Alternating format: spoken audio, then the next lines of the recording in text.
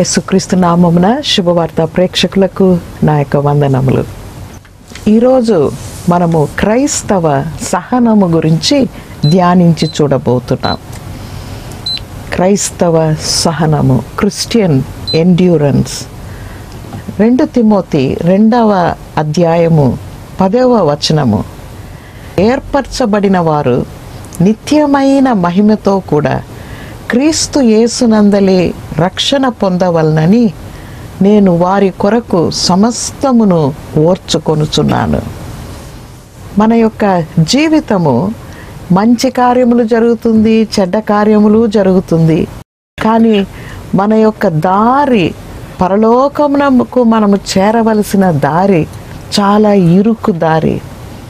యేసుక్రీస్తు ప్రభు తన యొక్క శిష్యులతో శ్రమలను గురించి హెచ్చరించినాడు.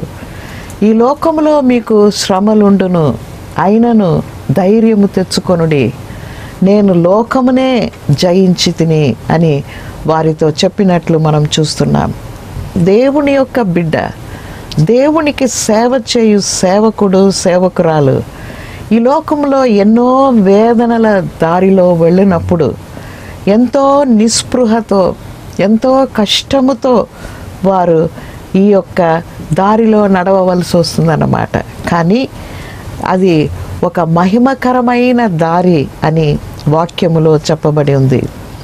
మొదటి పేతురు నాలుగవ అధ్యాయము పన్నెండు నుంచి ప్రియులార మిమ్మను శోధించుటకు మీకు కలుగుచున్న అగ్ని వంటి మహాశ్రమను గుర్చి మీకేదో ఒక వింత సంభవించినట్లు ఆశ్చర్యపడకుడి. క్రీస్తు మహిమ బయలుపరచబడినప్పుడు మీరు మహానందముతో సంతోషించు నిమిత్తము క్రీస్తు శ్రమలలో మీరు పాలివారై ఉన్నంతగా సంతోషించుడి. క్రీస్తు నామము నిమిత్తము మీరు నింద పాలైన ఎడల మహిమా స్వరూపి అయిన ఆత్మ అనగా దేవుని ఆత్మ మీ మీద నిలుచుచున్నాడు గనక మీరు ధన్యులు. నా ప్రియమైన సహోదర సహోదరి క్రీస్తు నామము నిమిత్తము నింద పాలైనప్పుడు దేవుని యొక్క మహిమా స్వరూపి అయిన ఆత్మ మీ మీద నిలుచుచున్నాడు గనక మీరు ధన్యులు. దేవునికి వందనములు.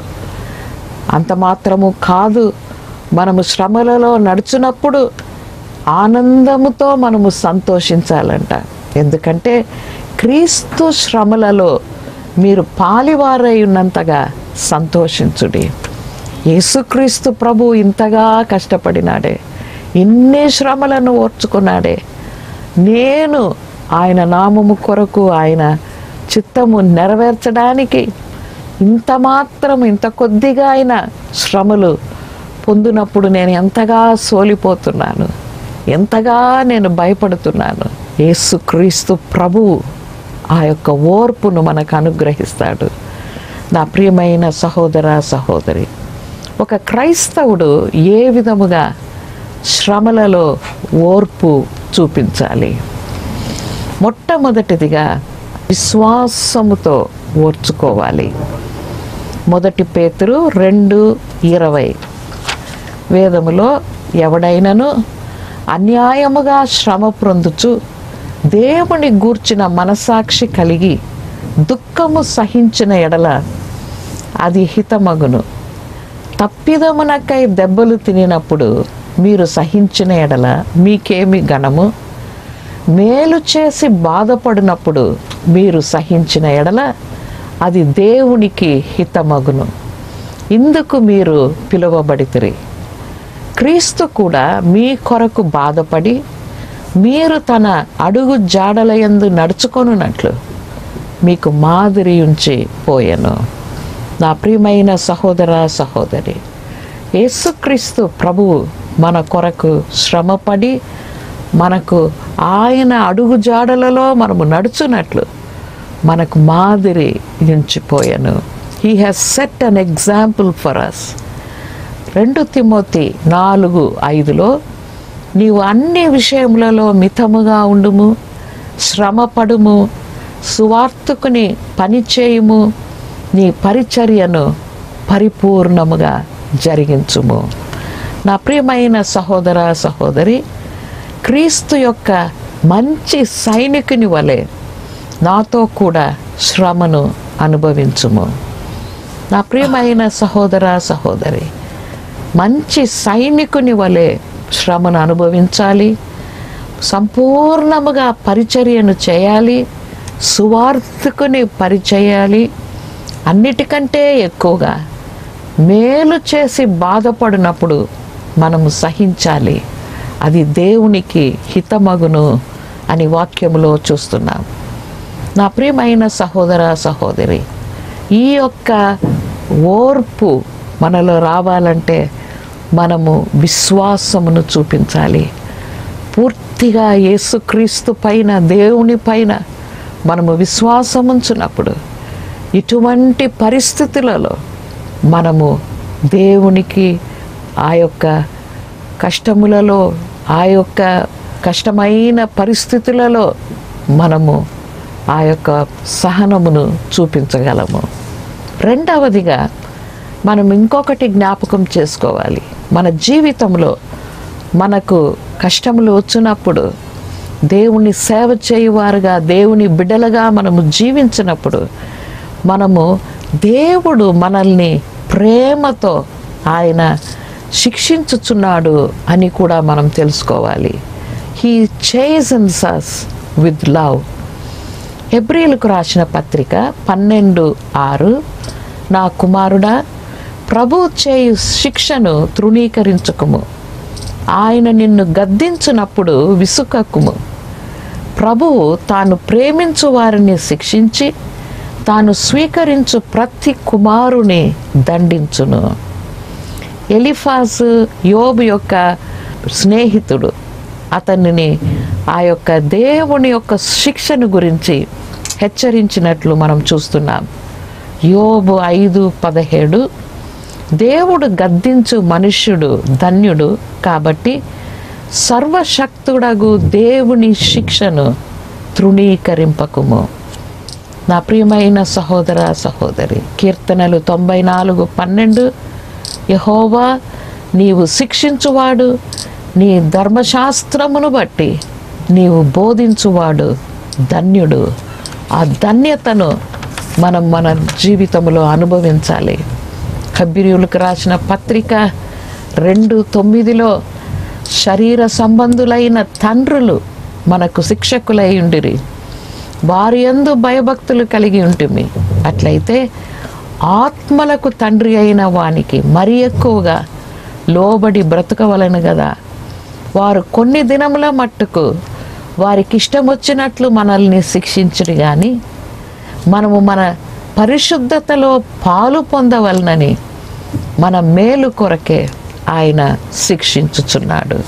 నా ప్రియమైన సహోదర సహోదరి యేసుక్రీస్తుకు ముందు మనల్ని మనము తగ్గించుకొని మన యొక్క ఆలోచనలు మన యొక్క దారులు మన యొక్క క్రియలు అన్నింటినీ మనము పరీక్షించి చూసుకోవాలి. ప్రభువు ముందు తగ్గించుకొని ఆయనకు ప్రియము కాని ఏ కార్యం ఉన్నప్పటికీ క్షమాపణ అడిగి ఆయన శిక్షకు మనల్ని మనము సమర్పించుకొని ఓపికతో మనల్ని పరిశుద్ధతలోనికి ప్రవేశపెట్టుకోవాలి. ఆ యొక్క దేవుని ప్రేమ వలన ఆయన మనల్ని దండించినప్పుడు మనము ధన్యులమని వాక్యములో చెప్పబడింది. మన ఆత్మను ఆయన పరిశుద్ధపరుస్తాడు. అంత మాత్రము కాదు మనము ఓపికతో మన యొక్క నిందలను మన యొక్క శ్రమలను దేవుని వాక్యము ద్వారా సహించాలి. We have to endure reproach through the word of God కీర్తనలు అరవై తొమ్మిది ఏడు తొమ్మిది. నీ నిమిత్తము నేను నింద నొందిన వాడనైతిని నీ నిమిత్తము సిగ్గు నా ముఖమును కప్పెను. నీ ఇంటిని గూర్చిన ఆసక్తి నన్ను భక్షించి ఉన్నది. నిన్ను నిందించిన వారి నిందలు నా మీద పడి ఉన్నది. దేవుని యొక్క వాక్యము మాత్రమే మనల్ని ఆదరించి ఈ లోకంలో మనకు ఒక ధైర్యమును మనకు విశ్వాసమును అనుగ్రహించును. నీ యొక్క శిక్ష నీ యొక్క నిందలు నిన్ను నిందించిన వారి నిందలు నా మీద పడి ఉన్నది. కాబట్టి మనం ఏమి అనుభవించినప్పటికీ యేసుక్రీస్తు నామమున మనం అనుభవించినప్పుడు దేవుని యొద్ద అనుకోవాలి ప్రభువా నీ కొరకు నీ నామము కొరకు నేను ఈ యొక్క దారిలో పోతున్నాను. మీకు తెలుసును తండ్రి. నేను ఏ తప్పు చేయలేదు కానీ దేవుని యొక్క యేసు నామమున నేను ఈ నిందలో నడుస్తున్నాను ఈ యొక్క వేదనలో నడుస్తున్నాను ఈ యొక్క అవమానములు ఈ యొక్క ప్రభువా దేవునికి ప్రియముగా నేను ఉండునట్లు ఈ యొక్క పరిస్థితిలో నాకు సహాయము చేయము. నా యొక్క ఓర్పును సహనమును నేను కోల్పోకూడదు ప్రభువా. మీ వాక్యమునందు నేను ఆదరింపబడి ధైర్యము తెచ్చుకొనున్నట్లు నా హృదయమును స్థిరపరచమని వేడుకుంటున్నాను.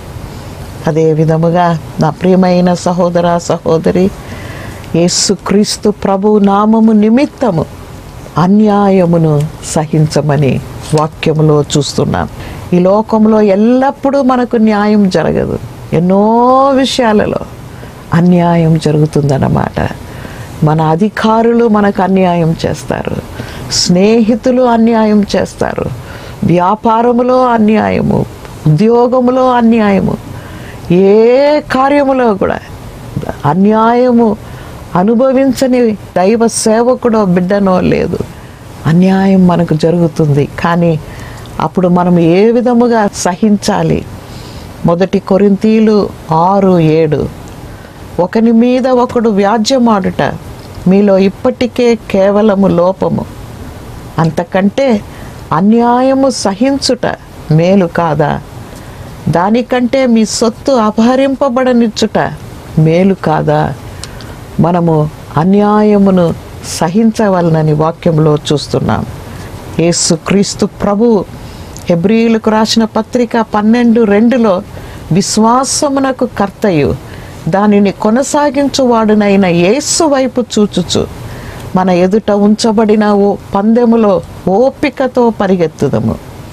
ఆయన మన ఎదుట ఉంచబడిన ఆనందము కొరకై అవమానమును నిర్లక్ష్యపెట్టి సులువను సహించి దేవుని యొక్క కుడి పార్శ్వమున ఆసీనుడై ఉన్నాడు.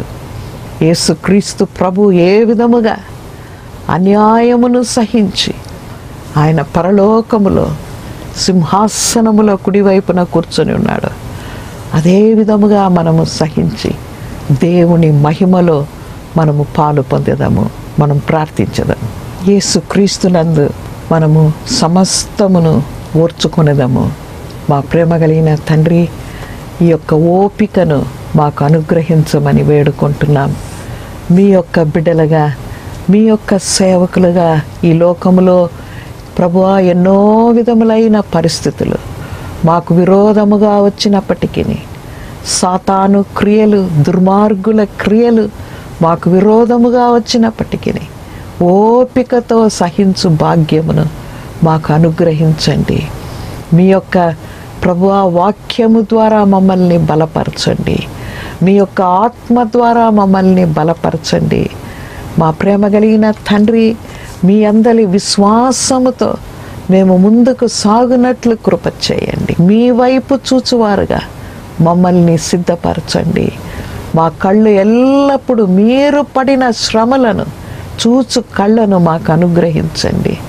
అప్పుడు మేము పడే శ్రమలు దేమీ లేదు ప్రభు పోల్చి చూస్తే తండ్రి మమ్మల్ని మేము తగ్గించుకొని ప్రభువా మీ యొక్క సమస్త మీ నామమున మేము పడు వేదనలో మేము ధన్యులుగా జీవించున్నట్లు.